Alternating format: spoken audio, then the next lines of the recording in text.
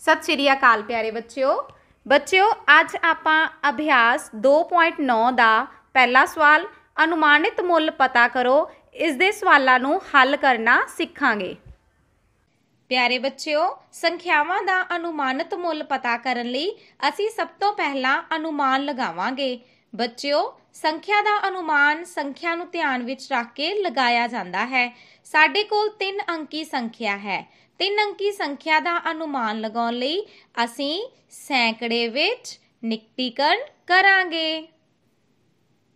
ਬੱਚਿਓ, ਤੁਹਾਨੂੰ ਯਾਦ ਹੋਣਾ ਹੈ ਕਿ ਜਦੋਂ ਅਸੀਂ ਨੇੜਲੇ ਸੈਂਕੜੇ ਵਿੱਚ ਨਿਕਟੀਕਰਨ ਕਰਦੇ ਹਾਂ, ਤਾਂ ਅਸੀਂ ਦਹਾਈ ਸਥਾਨ ਦੇ ਅੰਕ ਨੂੰ ਦੇਖਦੇ ਹਾਂ।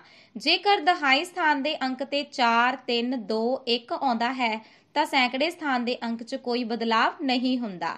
ਅਤੇ ਜੇਕਰ ਦਹਾਈ ਸਥਾਨ ਦੇ ਅੰਕ ਤੇ 5 6 7 8 9 ਆਉਂਦਾ ਹੈ, ਤਾਂ ਸੈਂਕੜੇ ਸਥਾਨ ਦੇ ਅੰਕ ਵਿੱਚ ਇੱਕ ਵੱਧ ਜਾਏਗਾ।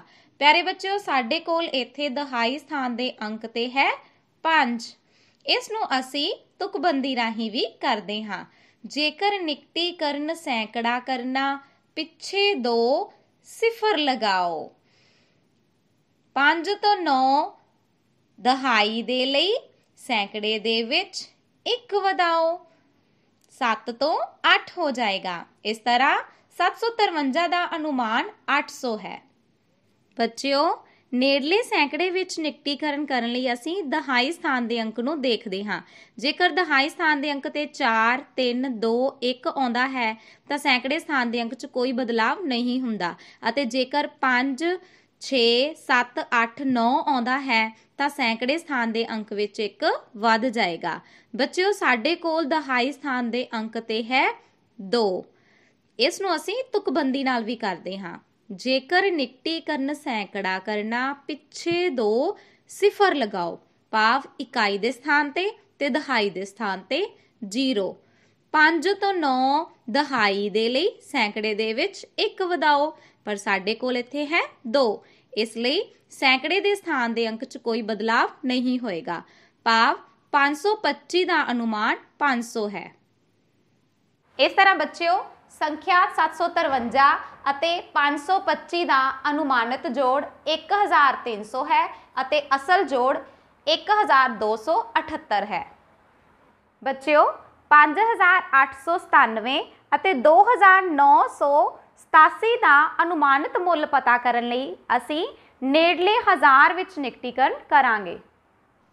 ਬੱਚਿਓ, ਨੇੜਲੇ ਹਜ਼ਾਰ ਵਿੱਚ ਨਿਕਟੀਕਰਨ ਕਰਨ ਲਈ ਅਸੀਂ ਸੈਂਕੜੇ ਦੇ ਸਥਾਨ ਨੂੰ ਦੇਖਦੇ ਹਾਂ।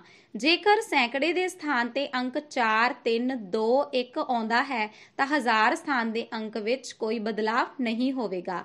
ਅਤੇ ਜੇਕਰ ਸੈਂਕੜੇ ਸਥਾਨ ਤੇ ਅੰਕ 5 6 7 8 9 ਆਉਂਦਾ ਹੈ ਤਾਂ ਹਜ਼ਾਰ ਸਥਾਨ ਦੇ ਅੰਕ ਵਿੱਚ ਇੱਕ ਵੱਧ ਜਾਏਗਾ। ਪਿਆਰੇ ਬੱਚਿਓ, ਸਾਡੇ ਕੋਲ ਸੈਂਕੜੇ ਸਥਾਨ ਤੇ ਅੰਕ ਹੈ 8 ਇਸ ਨੂੰ ਅਸੀਂ ਤੁਕਬੰਦੀ ਰਾਹੀਂ ਵੀ ਕਰਦੇ ਹਾਂ।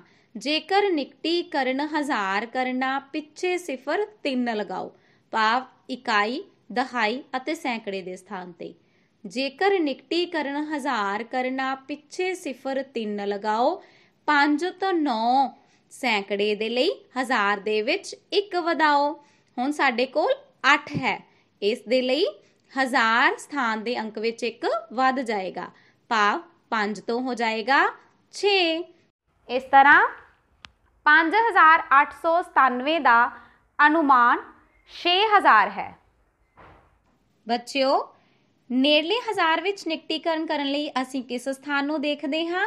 ਹਾਂਜੀ ਸੈਂਕੜੇ ਦੇ ਸਥਾਨ ਨੂੰ। ਜੇਕਰ ਸੈਂਕੜੇ ਦੇ ਸਥਾਨ ਤੇ ਅੰਕ 4 3 2 1 ਆਉਂਦਾ ਹੈ, ਤਾਂ ਹਜ਼ਾਰ ਸਥਾਨ ਦੇ ਅੰਕ 'ਚ ਕੋਈ ਬਦਲਾਵ ਨਹੀਂ ਹੁੰਦਾ। ਅਤੇ ਜੇਕਰ ਸੈਂਕੜੇ ਦੇ ਸਥਾਨ ਤੇ ਅੰਕ 5 6 7 8 9 ਆਉਂਦਾ ਹੈ, ਤਾਂ ਹਜ਼ਾਰ ਸਥਾਨ ਦੇ ਅੰਕ ਵਿੱਚ ਇੱਕ ਵੱਧ ਜਾਏਗਾ। ਬੱਚਿਓ, ਸਾਡੇ ਕੋਲ ਸੈਂਕੜੇ ਸਥਾਨ ਤੇ ਅੰਕ ਹੈ 9 ਇਸ ਨੂੰ ਅਸੀਂ ਤੁਕਬੰਦੀ ਰਾਹੀਂ ਕਰਦੇ ਹਾਂ। ਜੇਕਰ ਨਿਕਟੀਕਰਨ ਹਜ਼ਾਰ ਕਰਨਾ, ਪਿੱਛੇ ਸਿਫਰ 3 ਲਗਾਓ। ਭਾਵ, ਇਕਾਈ, ਦਹਾਈ ਅਤੇ ਸੈਂਕੜੇ ਦੇ ਸਥਾਨ ਤੇ 0 ਆਵੇਗਾ। ਜੇਕਰ ਨਿਕਟੀਕਰਨ ਹਜ਼ਾਰ ਕਰਨਾ, ਪਿੱਛੇ ਸਿਫਰ 3 ਲਗਾਓ। 5 ਤੋਂ 9 ਸੈਂਕੜੇ ਦੇ ਲਈ ਹਜ਼ਾਰ ਦੇ ਵਿੱਚ ਇੱਕ ਵਧਾਓ। ਸਾਡੇ ਕੋਲ ਦੇਖੋ, ਸੈਂਕੜੇ ਦੇ ਸਥਾਨ ਤੇ 9 ਹੈ। ਇਸ ਲਈ ਹਜ਼ਾਰ ਸਥਾਨ ਦੇ ਅੰਕ ਵਿੱਚ ਇੱਕ ਵੱਧ ਜਾਏਗਾ। ਭਾਵ 2 ਤੋਂ ਹੋ ਜਾਏਗਾ। ਹਾਂਜੀ 3 ਇਸ ਤਰ੍ਹਾਂ ਬੱਚਿਓ 2987 ਦਾ ਅਨੁਮਾਨ 3000 ਹੈ। ਬੱਚਿਓ, ਇਸ ਤਰ੍ਹਾਂ 5897 ਅਤੇ 2987 ਦਾ ਅਨੁਮਾਨਿਤ ਅੰਤਰ 3000 ਹੈ ਅਤੇ ਅਸਲ ਅੰਤਰ 2910 ਹੈ। ਪਿਆਰੇ ਬੱਚਿਓ, ਅੱਜ ਆਪਾਂ ਅਭਿਆਸ 2.9 ਵਿੱਚੋਂ ਜੋੜ ਅਤੇ ਘਟਾਓ ਕਰਦੇ ਹੋਏ ਅਨੁਮਾਨਿਤ ਮੁੱਲ ਪਤਾ ਕਰਨਾ ਸਿੱਖਿਆ ਹੈ। ਘਰ ਦੇ ਕੰਮ ਦੇ ਵਿੱਚ ਤੁਸੀਂ ਇਸ ਦੇ ਸਾਰੇ ਭਾਗਾਂ ਨੂੰ ਹੱਲ ਕਰਦੇ ਸਮੇਂ ਸਭ ਤੋਂ ਪਹਿਲਾਂ ਸੰਖਿਆਵਾਂ ਦਾ ਅਨੁਮਾਨ ਲਗਾਉਣਾ ਹੈ। ਅਤੇ ਦਿੱਤੇ ਹੋਏ ਚਿੰਨ੍ਹ ਅਨੁਸਾਰ ਜੋੜ, ਘਟਾਓ, ਗੁਣਾ ਜਾਂ ਭਾਗ ਕਰਦੇ ਹੋਏ ਇਹਨਾਂ ਨੂੰ ਕਾਪੀਆਂ ਤੇ ਹੱਲ ਕਰਨਾ ਹੈ। ਧੰਨਵਾਦ।